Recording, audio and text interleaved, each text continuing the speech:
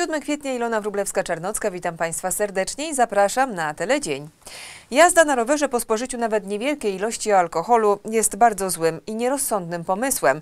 Z dużymi konsekwencjami musi liczyć się 57-latek, który pijany jechał rowerem.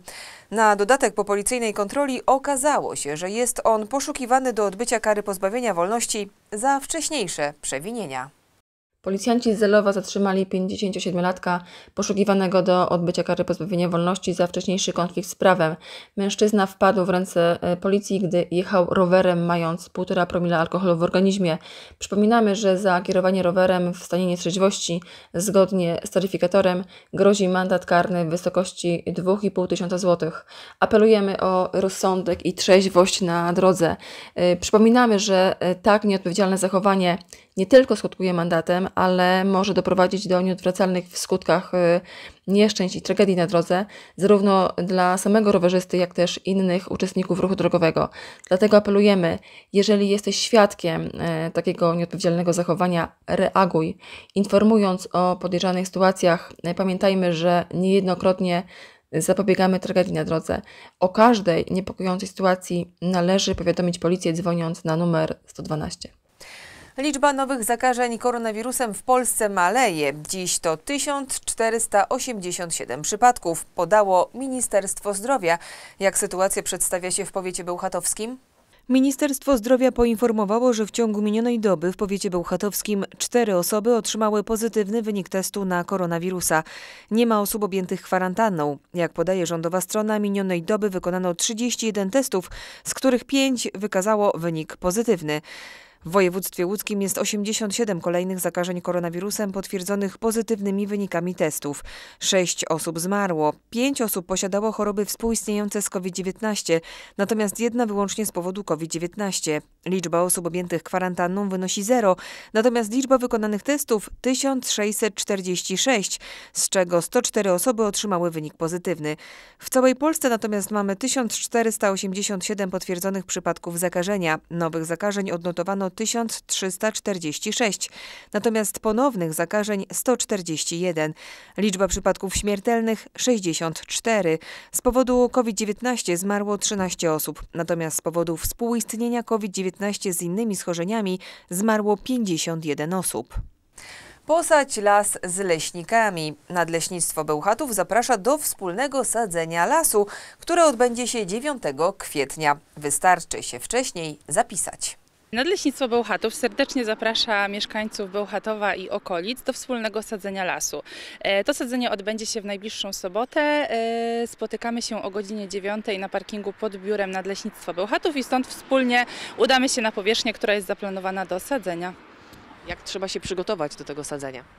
E, no więc tak, my zapewniamy cały sprzęt, e, kostury, rękawiczki, nadleśnictwo Bełchatów zapewni. Trzeba się odpowiednio ubrać, no bo to będzie praca w takim terenie dosyć e, trudnym, więc trzeba zadbać na pewno o odpowiednie obuwie. E, też przyda się dobry humor, e, no i też pogoda, za to nie odpowiadamy, ale dla leśników pogoda jest dobra albo bardzo dobra, więc w sobotę na pewno będzie dobra. Ile planujecie zasadzić e, nowych drzew? E, do sadzenia mamy tam prze, przewidziane 6 tysięcy sadzonek e, i to jest powierzchnia około 1 hektara. Będziemy sadzili jednoroczną sosnę. Czyli trzeba się najpierw z Wami skontaktować i zapisać. E, tak, najlepiej nam to zgłosić z takich względów organizacyjnych. Wszystkie informacje są u nas na stronie internetowej. Jest numer telefonu. Załączyliśmy też mapkę, gdzie zaznaczyliśmy wszystkie te takie istotne miejsca, które dotyczą tego wydarzenia sobotniego. Po, całym, po całej tej akcji sadzenia zapraszamy też na poczęstunek. E, jakby ktoś się spóźnił, to my też tą trasę, gdzie będziemy szli, zaznaczymy w terenie, strzałki będą zaznaczone, także zapraszamy. Od 1 kwietnia do końca 2022 roku do szpitali w Polsce trafi dodatkowo ponad 2 miliardy złotych, informuje Narodowy Fundusz Zdrowia. Wyższe przychody pozwolą m.in. na złagodzenie skutku inflacji, w tym wzrostu kosztów energii elektrycznej i cieplnej. Ponad 2 miliardy 600 milionów złotych trafi dodatkowo do wszystkich poziomów leczenia w Polsce, czyli do poradni lekarzy pierwszego kontaktu, do poradni specjalistycznych, do szpitali, ale także do placówek leczenia uzależnień, placówek psychiatrycznych czy placówek, które zajmują się opieką paliatywną. Do końca roku 2022 600 milionów złotych trafi właśnie do poradni specjalistycznych i poradni POZ, a do szpitali 2 miliardy złotych. Ten wzrost finansowania ma osłabić skutki inflacji i zmniejszyć efekt wyższych kosztów utrzymania placówek medycznych, w tym rachunków za prąd i ogrzewanie. Poziom zwiększenia tych stawek określiła Agencja Oceny Technologii Medycznych i Taryfikacji, która obliczyła wzrost e, finansowania na 4,5% właśnie na podstawie informacji od samych placówek medycznych. Przypomnijmy, że na leczenie w poradniach POZ w ubiegłym roku łódzki NFZ wydał ponad miliard złotych. 229 milionów złotych z tej kwoty to były pieniądze przeznaczone na leczenie y, świadczeń COVID, czyli między innymi 3% wypłacane placówkom POZ od lipca roku 2020 na pracę w warunkach wzmożonego rygoru sanitarnego, czyli na zakup maseczek, dezynfekowanie pomieszczeń, ale także na leczenie chorych na COVID-19. Od roku 2014 kwota przeznaczona na finansowanie leczenia pacjentów w poradniach POZ wzrosła aż o 66%. Teraz poradnie POZ dostaną dodatkowo 4,5% więcej do każdej faktury. Na leczenie w poradniach specjalistycznych na ten rok łódzki NFZ ma w planie finansowym zarezerwowaną kwotę 418 milionów złotych. Wyższe pieniądze trafią także do szpitali. Cena za punkt, y, którym rozliczamy się ze szpitalami, wzrośnie o 4,5%. To wysokość ceny za punkt, którą ustaliła Agencja Oceny Technologii Medycznych właśnie na podstawie wydatków y, y, ze szpitali. Od wtorku, 5 kwietnia, obywatele Ukrainy mogą korzystać z konsultacji online w języku ukraińskim. W e-wizycie po stronie Zakładu Ubezpieczeń Społecznych będzie uczestniczył ekspert z ZUS oraz tłumacz języka ukraińskiego. W czasie e-wizyty obywatele Ukrainy będą mogli otrzymać pomoc w złożeniu wniosków o świadczenie dla rodzin, np. o 500, i w założeniu profilu na platformie usług elektronicznych PUEZUS. E-wizyta, czyli wideo rozmowa w języku ukraińskim, to szansa na samodzielne załatwienie sprawy z ekspertem ZUS bez konieczności przychodzenia do placówki ZUS-u. Żeby skorzystać z e-wizyty, wystarczy mieć komputer z kamerą i mikrofonem albo smartfon z dostępem do internetu.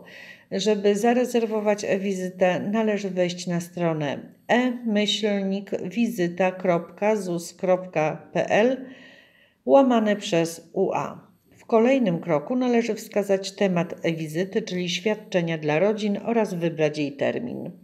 Jeżeli klient będzie chciał uzyskać informacje w konkretnej, indywidualnej sprawie, powinien przygotować dokument tożsamości, który należy pokazać do kamery podczas e-wizyty. Z e-wizyty obywatel Ukrainy może skorzystać także w obecności swojego tłumacza. Taką informację należy podać e, podczas rezerwacji e-wizyty. Aby uzyskać dane w swojej indywidualnej sprawie, należy podać numer PESEL.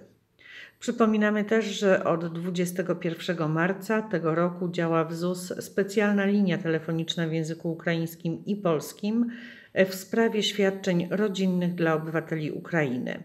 Chodzi o osoby, które przybyły do Polski po 23 lutego tego roku w wyniku konfliktu zbrojnego.